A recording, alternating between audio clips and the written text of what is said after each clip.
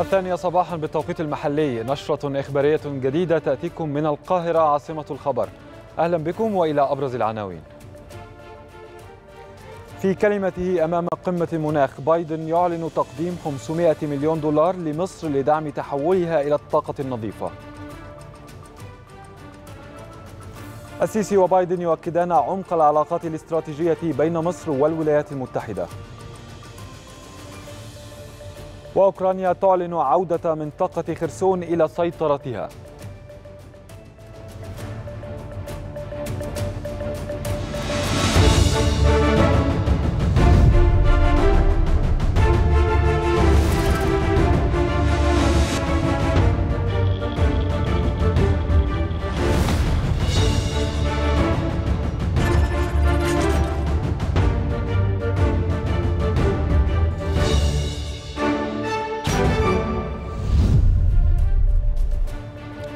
أهلا بكم من جديد وبداية نشرتنا من شرم الشيخ المصرية حيث تعقد القمة العربيه القمة العالمية للمناخ.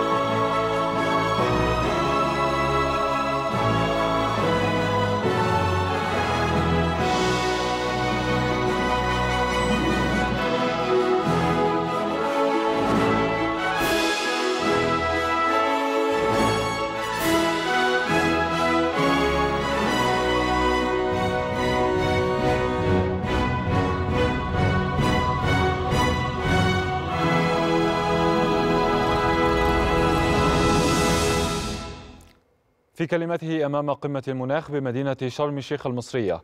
أكد الرئيس الأمريكي جو بايدن تخصيص 150 مليون دولار لدعم التكيف بإفريقيا. وأضاف أن بلاده سوف تزيد الدعم الذي تقدمه لمواجهة أزمة المناخ بمقدار أربعة أضعاف. واليوم كدفعة أولية. نعلن عن مبلغ 150 مليون دولار لمبادرات تدعم خطة بريبير للتكيف في أفريقيا. بما في ذلك برنامج التكيف في أفريقيا وهذا مجهود انطلق بالاشتراك بين مصر والولايات المتحدة في حزيران يونيو. وهذا يشمل توسيع نظم الإنذار المبكر لتغطي أفريقيا وتوسيع فرص التمويل المناخي وتعزيز الحماية من المخاطر وتعزيز تعزيز الأمن الغذائي وتعبئة القطاع الخاص ودعم مركز جديد للتدريب في مصر لتعجيل جهود التكيف عبر القارة الأفريقية. أعلن بايدن أن الولايات المتحدة بالتعاون مع الاتحاد الأوروبي ستدعم مصر ب 500 مليون دولار لدعم تحولها إلى الطاقة النظيفة. هذا وأوضح أن الهدف من الدعم هو حصول مصر على 10 جيجا وات من الطاقة النظيفة بحلول عام 2030 وذلك حتى تتمكن القاهرة من تحقيق طموحاتها المناخية. ويسعدني أن أعلن عليكم اليوم أنه إلى جانب الاتحاد الأوروبي وألمانيا فهناك صفقة ب 500 مليون دولار لتمويل تحول مصر إلى الطاقة النظيفة. وهذه الصفقة ستسمح لمصر بالحصول على 10 جيجاوات من الطاقة المتجددة بحلول 2030 وتحسين 5 جيجاوات من الطاقة المولدة بالغاز. بما يخفض انبعاثات مصر في نطاق الطاقة بعشرة بالمئة وسنعمل مع مصر على حجز أربع مليارات من آه، الأمتار المكعبة من الغاز الطبيعي. حاليا تخسرهم مصر في الحرق والرياح والتسرب. وبفضل هذا التعاون فإن مصر تصبح قادرة على تحقيق ما آه، وضعته لنفسها كمساهمات محددة وطنيا. قال بايدن إن الولايات المتحدة اتخذت إجراءات عدة من أجل التصدي للتغيرات المناخية وأضاف أن إدارته تعمل على كافة المستويات من أجل تفعيل هدف تخفيض درجة حرارة الأرض بمقدار درجة ونصف الدرجة. أعدنا إنشاء منتدى الاقتصادات الكبرى لدفع البلدان في العالم على زيادة طموحاتها المناخية وفي العام الماضي في غلاسكو في مؤتمر الأطراف السادس والعشرين ساعدت الولايات المتحدة على التوصل إلى التزامات حيوية بحيث أن ثلثي الاقتصادات في العالم التي تشكل ثلثي الناتج العالمي الإجمالي في مسار لمنع الاحترار بما يزيد عن درجة والنصف وفي السنتين الأخيرتين. حققنا تقدم تقدما لم يسبق له مثيل في الوطن باستثمار على مدى الأجيال وبتعزيز البنية التحتية. نحسن شبكة الكهرباء من أجل الطاقة النظيفة ونوسع شبكات النقل العام وبسكة الحديد ونبني شبكة وطنية لشحن العربات الكهربائية وفي هذا الصيف. اعتمد الكونغرس الأمريكي قانونا صدقت عليه. ويعتبر أكبر وأضخم قانون مناخي في تاريخ البلاد.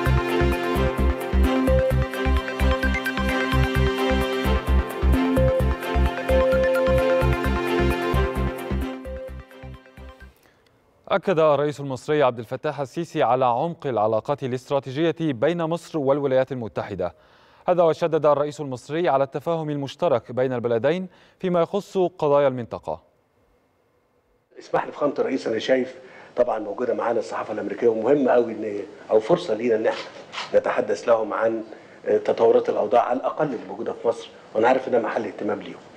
Um, I'd like to seize this opportunity of having you as media with us to uh, talk about the overall issues in the Middle East and how things are unfolding in this region. أولا أنا عايز أكد لكم العلاقة الاستراتيجية القوية بين مصر وبين الولايات المتحدة والتي لم تتغير على مدى أكثر من 40 سنة. Uh, first of all, I'd like to emphasize the uh, strength of the strategic relationship between Egypt and the United States that has not changed over 40 years. ودايما كان التفاهم المشترك في كل الموضوعات اللي بتخص القضايا قضايا المنطقة كان دايما التوجه فيها توجه واحد. But there has always been common understanding regarding all the issues relating to this region. كما أكد الرئيس المصري على إطلاق استراتيجية حقوق الإنسان في مصر ومبادرة للحوار الوطني لمناقشة جميع القضايا التي تهم المواطن. أكد الرئيس السيسي أن الأمور في مصر تسير بشكل جيد للغاية في موضوع دايما بيبقى بيبقى دايما محل نقاش وده أمر إحنا نقدره جدا هو اللي هو خاص بموضوعات حقوق الإنسان Uh, there's always a point that is uh, the center of the debate that we appreciate very much, and this is the human rights. واسمحوا لي أقول لكم إن إحنا يعني دائما في هذه الموضوعات بيبقى لينا مقاربه شامله اسمع اسمعوها مننا في مصر وارجو انك تتابعونا معاها لأن إحنا حريصين أيضا على هذا الموضوع وعلى التطوير انفسنا فيه. Uh, in, in this particular regard, we have a comprehensive approach that I'd like you to listen and hear from us about it and to uh, follow uh, it up because we are very keen on improving this file. إحنا اطلقنا استراتيجيه لحقوق الانسان في مصر. Uh, we have launched ثم أطلقنا مبادرة للحوار الوطني في إبريل من هذا العام. Uh. وكانت مصاحبة ليها لجنة للعفو الرئاسي. بتقوم بمتابعة القضايا المختلفة والقوائم اللي بيتم تقديمها بيتم آه، يعني التوقيع والتصديق عليها. من جانبه أكد بايدن أن الولايات المتحدة تعتبر مصر صديقا وحليفا قويا تعول عليه في المنطقة. أعرب الرئيس الأمريكي عن تطلعه لتكثيف التنسيق والتشاور المشترك حول جميع القضايا الإقليمية والدولية. كنا نتحدث في طريقنا إلى هذه الغرفة. من الصعب أن نصدق أنه قد مرت 100 عام على علاقات المشتركة والثنائية بين مصر والولايات المتحدة وأتمنى مع نهاية هذه الزيارة أن تكون علاقتنا أقوى وأن نكون أقرب من بعضنا البعض. وجه بايدن الشكر لمصر على دورها في القضية الفلسطينية كما أشاد بايدن بالموقف المصري من الحرب الروسية الأوكرانية. نشكر مصر أيضا على دورها في أنها تلعب دور الوسيط آه، فيما يتعلق بالوضع بغزة آه، وفيما نواجه هذه الحرب الروسية على أوكرانيا. كانت مصر آه، اتخذت موقفا رائعا بالنسبة لهذا هذه القضية وتحدثت بصوت عال ضد ما يجري.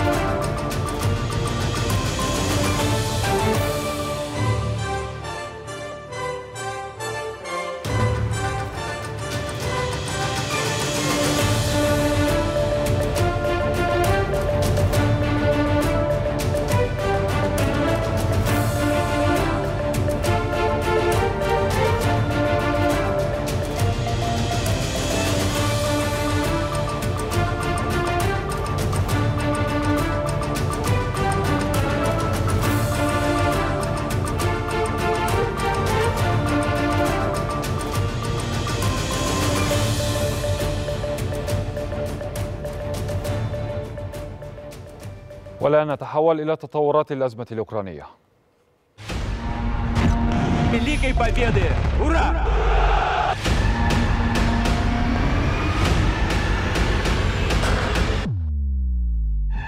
Чи вважаєте ви, що час міжнародного права минув? Якщо ваша відповідь ні, то діяти потрібно. Может не тревожить и то, что на Украине был принят целый ряд законов и подзаконных актов, по своей сути противоречащих Минским соглашениям. don't. Will change the face of war unlike anything since World War II. أكد الرئيس الأوكراني فلاديمير زلينسكي أن وحدات خاصة من القوات المسلحة الأوكرانية دخلت بالفعل مدينة خرسون بجنوب البلاد بعد انسحاب روسيا. ووصف الرئيس الأوكراني هذا اليوم بالتاريخي. اليوم هو يوم تاريخي. نحن نعيد جنوب البلاد ونعيد خرسون. نحن على وشك دخول المدينة وقوات العمليات الخاصة موجودة بالفعل في ضواحيها. بعد فترة وجيزة من وصول قواتنا الدفاعية إلى المواقع المخصصة لها ستبدأ تنفيذ إجراءات تحقيق الاستقرار في خرسون. كانت كييف أعلنت أن وحدات عسكرية أوكرانية دخلت مدينة خرسون في جنوب البلاد وطالبت أي قوات روسية ما زالت هناك بالاستسلام. وقال جهاز المخابرات العسكرية الأوكراني إن المدينة تعود لسيطرة كييف بعد أن ظلت محتلة منذ مارس. مهددا بتدمير أي جنود روس يبدون مقاومة على حد وصف البيان الأوكراني.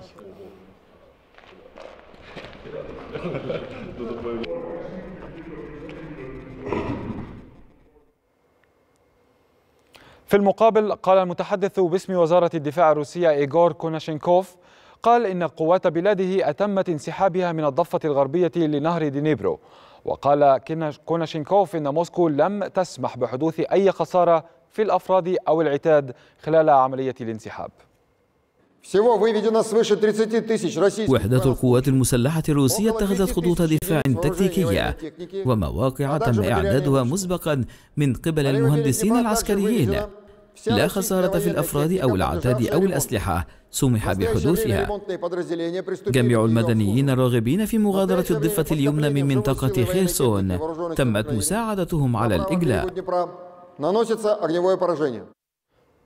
كشف مسؤول أمريكي أن واشنطن سترسل قذائف مدفعية قامت بشرائها من كوريا الجنوبية إلى أوكرانيا وذلك رغم رفض كوريا الجنوبية لذلك. وأوضح المسؤول الأمريكي أن كوريا الجنوبية اشترطت على واشنطن أن تكون المستخدم النهائي للذخيرة عملا بسياسة سول بعدم إرسال أسلحة فتاكة لأوكرانيا.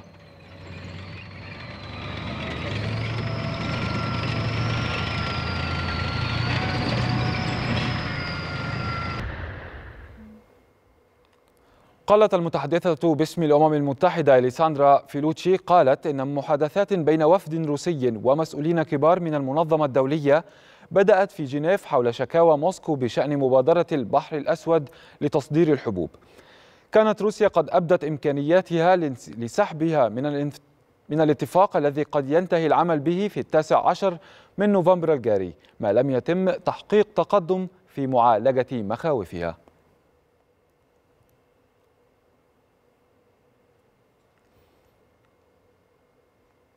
وإلى العراق حيث أعلنت وزارة الدفاع العراقية مقتل خمسة عناصر من تنظيم داعش الإرهابي في محافظة صلاح الدين.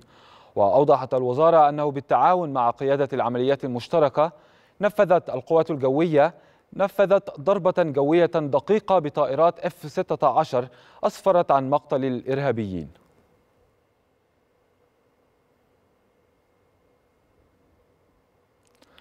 استدعت وزارة الخارجية البريطانية دبلوماسيا إيرانيا رفيع المستوى بشأن تهديدات مزعومة من قبل قوات الأمن الإيرانية للصحفيين في بريطانيا.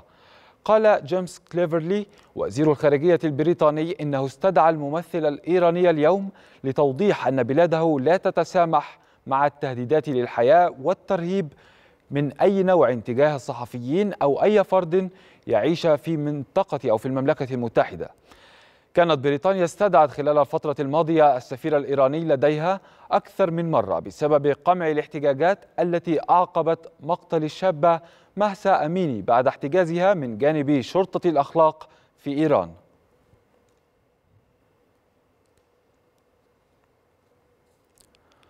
أعرب رئيسة الحكومة الإيطالية جورجينا ميلوني عن صدمتها إزاء رد فعل فرنسا تجاه رفض روما استقبال سفينة أوشن فايكنج التي تقل مهاجرين. قالت ميلوني في مؤتمر صحفي إن الغضب الفرنسي غير مبرر ولا يمكن أن أن تكون إيطاليا هي المرسى الوحيد للمهاجرين عبر المتوسط. Oh, لقد صدمت برد الفعل العدواني من حكومة فرنسا. والذي أعتبره من وجهة نظري مبالغا فيه وغير مفهوم. أعتقد أن نسبة كبيرة من الرأي العام قد صدمت أيضا. كانت فرنسا أعلنت أن رفض إيطاليا استقبال سفينة المهاجرين أوشن فايكنج أمر غير مقبول وقد تكون له تداعيات على العلاقات بين البلدين. السلطات الفرنسية بدورها أعلنت رسو سفينة أوشن فايكنج في ميناء طولون جنوب البلاد بعد رفض الجانب الإيطالي. ورغم المناشدات العديدة في عرض البحر. بعد أكثر من 18 يوما في عرض البحر أعلنت السلطات الفرنسية رسو سفينة أوشن فايكنج في ميناء تولون جنوب فرنسا استقبل الميناء الفرنسي أكثر من 230 مهاجرة بعد إجلاء أربعة مهاجرين من على متن السفينة لأسباب صحية ما جعل وزير الداخلية الفرنسي جيرالد دارمانين يصف الاستقبال بشكل استثنائي. رفض الجانب الإيطالي استقبال السفينة فسرته فرنسا بالتنصل من مسؤولية الملقاة على عاتق دول الاتحاد الأوروبي ما حدا بوزير الداخلية الفرنسي أن يشجب رد الفعل الإيطالي معتبرا أن حكومة إيطاليا الجديدة لم تتحمل مسؤوليتها كدولة أوروبية. لم يمر الوقت مرور الكرام فقد أثر الوزير الفرنسي أن يعلن أن الموقف الإيطالي ستكون له تبعات على العلاقات الثنائية بين البلدين مشددا على دعوة بلاده لعقد اجتماع على المستوى الأوروبي. لمحاولة إيجاد طريقة لمنع حدوث هذا الوضع مرة أخرى. آلاف من المهاجرين دفعتهم آمالهم وآلامهم نحو الموت المحقق وسط تبادل للمسؤوليات بين الدول الأوروبية التي تعاني هي الأخرى تغيرات اقتصادية واجتماعية قادتها إلى الإحجام عن استقبال مزيد من المهاجرين. وإلى آخر النتائج الأولية للانتخابات النصفية الأمريكية حيث ارتفعت مقاعد الحزب الجمهوري خلال الانتخابات وحصد الجمهوريون 211 مقعدا مقابل 201 مقعدا للديمقراطيين وذلك في انتخابات مجلس النواب. يسعى الحزب الديمقراطي إلى تقليص الفارق أمام الجمهوريين بفارق مقعد واحد في مجلس الشيوخ. حيث حقق الحزب الجمهوري 49 مقعدا مقابل 48 مقعدا للديمقراطي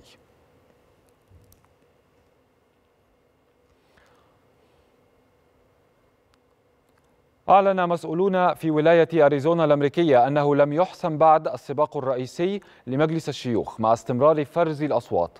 قال المسؤولون في مقاطعة ماري كوبا أكبر مناطق الولاية إن فرز الأصوات قد يستمر حتى الأسبوع المقبل. لقد أحصينا جميع الأصوات للأشخاص الذين ظهروا بالفعل في يوم الانتخابات. ووضعنا بطاقة الاقتراع في الجدول. لدينا حوالي 17 ألفا باقون من يوم الانتخابات. هؤلاء هم الذين لم تقرأهم الجدولة ووضعوا في الباب الثالث. ومجددا العدد ضمن إجمالي يتراوح بين 400 ألف و 410 آلاف بطاقة. أعلنت وزارة الخارجية الصينية أن الرئيس الصيني شي جينغ بينغ سيلتقي نظيره الأمريكي جو بايدن خلال فعاليات قمة مجموعة العشرين السابعة عشر في أندونيسيا. ويعد الاجتماع المرتقب بين الرئيسين أول لقاء مباشر بينهما منذ تولي بايدن منصبه. كما أفادت الخارجية الصينية بأنه من المتوقع أن يلتقي جين بينغ مع الرئيس الفرنسي إيمانويل ماكرون خلال القمة.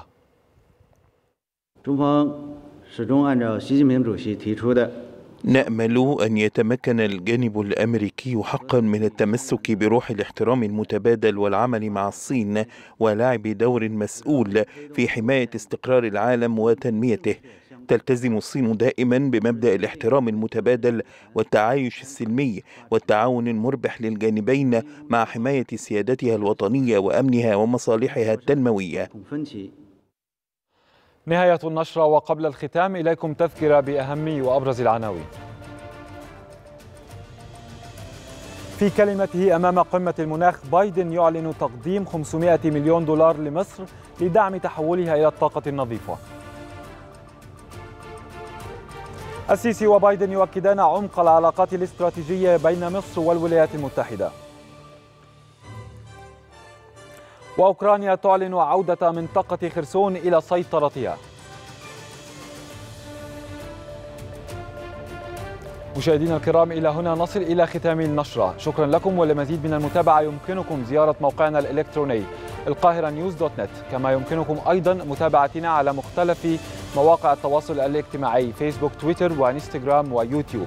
كما يمكنكم أيضا متابعة القاهرة الإخبارية على تردد 11747 فيرتيكال إلى اللقاء. هنا القاهرة عاصمة الخبر.